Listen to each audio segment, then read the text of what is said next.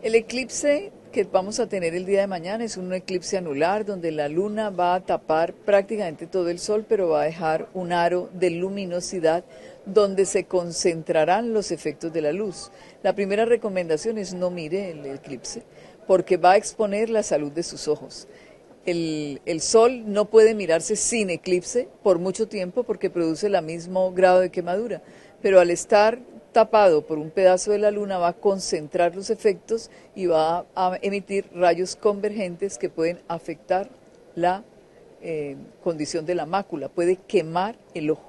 Entonces, la primera recomendación es no lo mire, sígalo a través de los videos de YouTube, vamos a tener una transmisión por muchos eh, medios de forma precisa y si definitivamente quiere verlos, tiene que encontrar unas gafas específicas que le protegen la luz del sol. Son las gafas específicamente las que usan los soldadores que permite eh, la protección del ojo contra estos efectos de irradiación.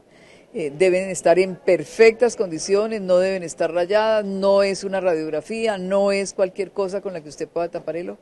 Entonces, nuevamente las recomendaciones, no mire directamente el eclipse solar, sígalo a través de las redes sociales, de los canales de YouTube y mire las fotos posteriores. No puede ni tomar fotografía directamente ni exponer sus ojos a la radiación del sol, a pesar de que usted piensa que es muy poquita por estar cubierto por la luna. Por su parte, Edgar Lozano, jefe de servicio de oftalmología del HV, subrayó que es fundamental no observar el eclipse de forma directa y únicamente hacerlo a través de gafas especializadas que cumplan con los requisitos de protección adecuados.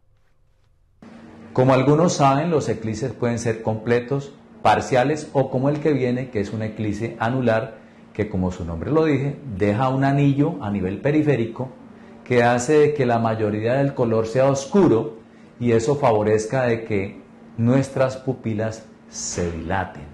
Y al dilatarse, la luz va a llegar más fácil a la parte interna del ojo.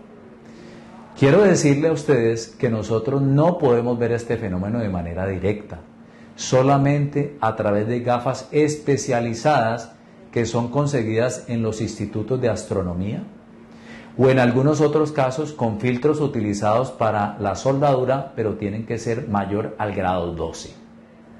No es permitido que usted vea el eclipse de manera directa.